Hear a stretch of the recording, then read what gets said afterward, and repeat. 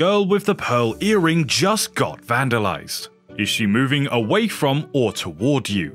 She is the enigmatic subject of Girl with the Pearl Earring, a painting by Dutch painter Johannes Vermeer that is frequently referred to as the Mona Lisa of the North. The masterpiece, Girl with the Pearl Earring by Johannes Vermeer, was the most recent piece of art targeted by climate activists in a demonstration at the Mauritshuis Museum in The Hague. According to reports, the expensive piece was undamaged. Further details about the vandalism will be given to you by this channel, Art and Beyond, so make sure you stay tuned. The Girl with the Pearl earring belongs to a group of idealized, occasionally too emotional paintings called tronies and possess the charm and nuance that defined Vermeer's art. However, this work differs from many of Vermeer's tranquil narrative scenes that we view from a distance. A girl reading a letter, a piano lesson, and a portrait artist are some of his works. A drawn curtain frequently emphasizes the divide, giving us a sense of intimacy whilst maintaining the painting's distance. We can watch a milkmaid calmly pour milk into a bowl, but that milk isn't for us. We are only bystanders. Vermeer's meticulous compositions evoke a well-balanced harmony. Many of his paintings, Vermeer uses the checkered floor to show off his mastery of perspective and foreshortening. That method makes use of disorientation to create the appearance that an object is moving away from the viewer. Other components, such as sightlines, mirrors, and light sources, use location and space to represent the situation. A woman is carefully positioned to read a letter by an open window so that even the window can reflect the woman's picture back to the observer. Even the easel leg would be hidden by Vermeer for the purpose of composition. The girl with the pearl earring comes to life precisely because of their absence. A dark, flat background is used in Vermeer's chiaroscuro technique to emphasize the subject's three-dimensionality. She changes from being a prop in a dramatic narrative situation to a physiological subject. We are drawn into her stare by her eye contact and slightly parted lips, which suggests that she is going to speak. Nobility or religious dignitaries were frequent subjects of traditional portraiture, so why did Vermeer choose to depict an unidentified girl?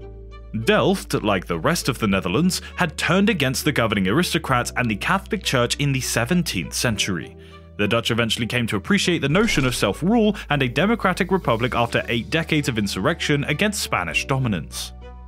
Many artists, including Vermeer, were left without their usual clients because cities like Delft were not under control of kings or bishops. The Dutch economy was unfortunately revolutionized by commercial innovation led by the Dutch East India Company, a new class of merchants and patrons were produced as a result. These merchants desired middle-class subjects painted in settings that resembled their own homes, surrounded by familiar things because they wanted to be presented and represented in the paintings that they funded. For instance, the maps depicted in Vermeer's artwork were seen as stylish and sophisticated by the merchant elite during the so-called Dutch Golden Age. So if an artist can invest time and effort in drawing the beautiful portrait of an anonymous girl, what are you waiting for? Smash that subscribe button and enable the bell icon. The girl with the pearl earrings' oriental turban highlights the worldliness of the merchant class, and the pearl itself, a representation of riches, is actually exaggerated. A genuine pearl of that size was beyond the means of Vermeer. Most likely, it was only a glass or tin drop that had been painted to resemble a pearl.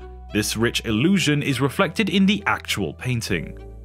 The pearl appears weighty and round in the larger setting, but close-up inspection reveals that it's actually simply a floating smudge of paint. Upon closer examination, Vermeer's skill in creating illusions is brought to mind. Although we might never discover the girl with the pearl earrings' true identity, we can interact with her painting in a way that will stay with us forever. Her presence is both piercing and subdued as she hangs in the Mauritshuis Museum in The Hague, where she has a permanent home.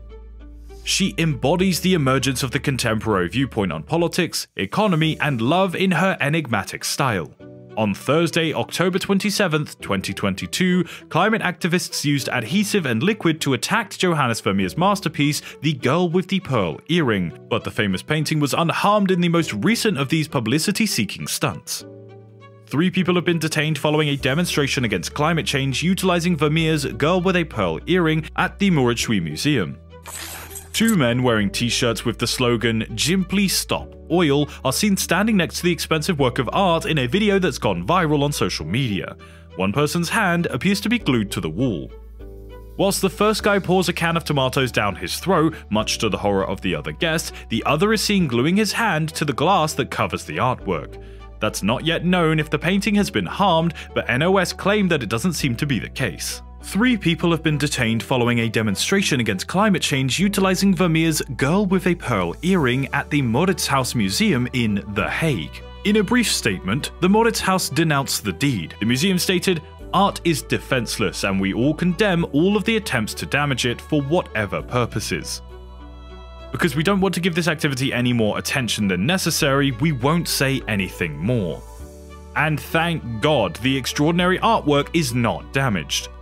So what do you guys think about this amazing piece of art? We'd really love to hear your opinions, so let us know down in the comment section below. Also, don't forget to like this video if you enjoy it, share it with a friend or family member if you think it's interesting, and subscribe to our channel for more interesting content just like this one.